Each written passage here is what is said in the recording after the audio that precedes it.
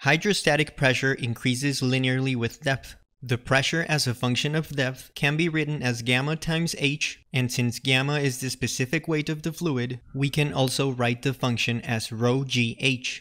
The units for the density rho are mass over volume, which can be pounds per cubic foot or kilograms per cubic meter, for example. The gravity g is an acceleration, which is distance over time squared, for example, m over second square. And since the height or depth is distance, for example meters, we find that the pressure has units of pascals for metric or psi for English units.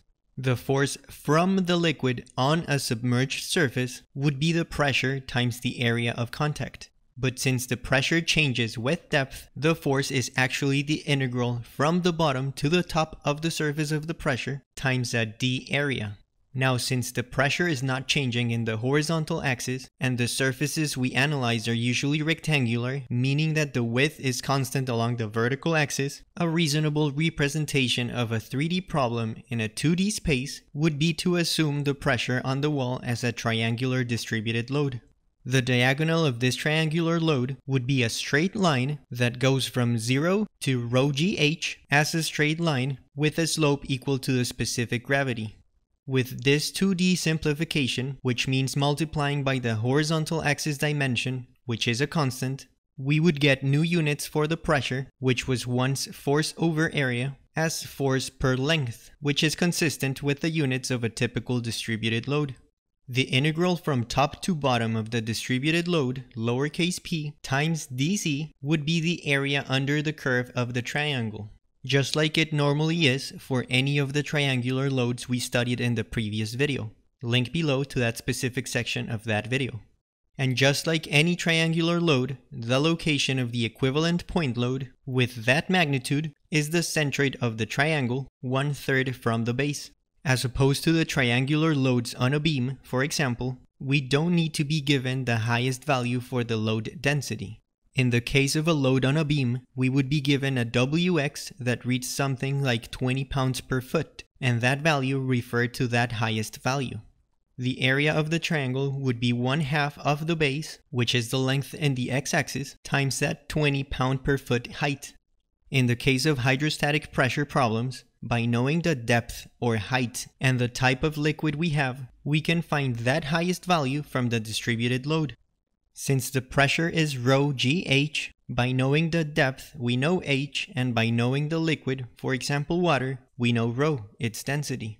The reason for calculating these hydrostatic pressure forces is to be able to calculate the reaction moment or forces that, for example, a gate has to generate to prevent the water from coming into the adjacent reservoir. Now the process of finding the resulting horizontal load from the fluid pressure doesn't only work for vertical surfaces in contact with a liquid reservoir. If the surface in contact with the liquid is inclined, the horizontal forces affecting the surface will be calculated in the exact same manner. The magnitude of the equivalent point load in the horizontal direction would be equal to the area of the triangle of the triangular distributed load, meaning rho gh times h divided by 2. And just like before, it's also located one third of the way from the bottom to the top. Of course, on an inclined surface, the weight of the liquid above it, which is a vertical load, also affects the surface. In some cases, this weight will only be a triangle, or the combination of a rectangle plus a triangle, or just a trapezoid. The weight of the liquid would be the volume times the specific weight which for a 2D representation is the area times the specific weight times the width. The location of the point load from the rectangular load is located right at the center, and again, just like with the pressure force, the location from the triangular weight is located one third of the way from the side of the triangle. Variation of these two situations, the vertical wall and the inclined one that begins right at the surface of the liquid, is if the walls or other member of interest is submerged beyond the surface of the liquid. For example, if there's a gate at the bottom of the reservoir, and you can think of it as a valve that opens to drain a reservoir, the distributed load affecting the gate will only be the portion of the hydrostatic pressure between the bottom and the top of the gate which means the linear distributed load looks like a trapezoid. And again, if you don't want to deal with the centroid of a trapezoid to find the location of the equivalent point load, you can divide it into a rectangle plus a triangle. The rectangle's point load, located at the center of the gate's height, and the triangle's point load, located one third of the height of the gate from the bottom. The value for the pressure at both the top and the bottom would just be rho g times z, where z is the depth or distance from the surface of the liquid. With these values, we could calculate the area of the rectangle as well as the area of the triangle by finding the base as the difference between the distributed pressures. For any other shape of the floor of the reservoir, for example a curved bottom, the process would be the same. The pressure on the side is creating a horizontal force and the weight of the liquid above the curve is creating a vertical load. The weight is divided into 1, a rectangle above the curve, just like we did with the flat inclined wall from before, and 2, the weight of the remaining geometry, which can be calculated using everything we learned during the centroid and center of gravity main video. Link below if you haven't watched that yet. The equivalent force will be the specific gravity times the volume, which in terms of the integral is the width in the third dimension we don't see, times the area written as the integral about z of all the d areas along the z direction. This is usually written as a function of z, known due to the geometry of the floor slash wall.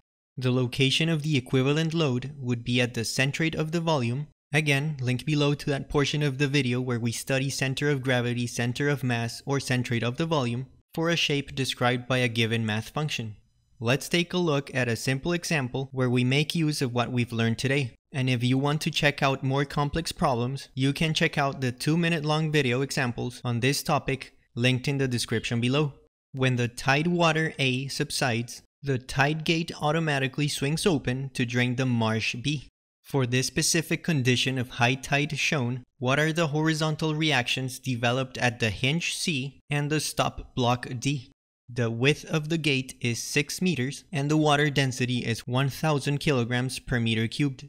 Remember to try to solve this problem on your own before watching the solution in this video. A free body diagram of the tide gate would show the reactions at C and D that we're looking for, plus the two hydrostatic pressure forces. The maximum hydrostatic pressure on the left, let's call it E, would be equal to rho gz with the depth C being 3 meters. The hydrostatic pressure at point D would be that for a depth of 2 meters. The force coming from the left side would be equal to the area of the purple triangle times the width of the gate. The force coming from the right side would be equal to the area of the pink rectangle times the width of the gate. The location of the purple force would be at the centroid of the left triangle, which is one third of the height from the bottom. The location of the pink force would also be the centroid of the right triangle, which is one third of the 2 meter height from the bottom surface, assuming that the height of block D is negligible. With a simple sum of moments about C, and knowing that the gate is not rotating, we can find the value for the reaction at D. And then, with a sum of forces in x, and knowing that the gate is not translating left or right, we find the value for the reaction at C.